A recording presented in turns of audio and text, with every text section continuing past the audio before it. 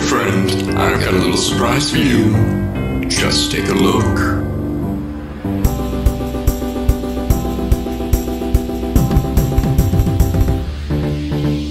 I don't want a lot for Christmas. There is just one thing I need. Cut out your lower inner workings and string them around the Christmas tree.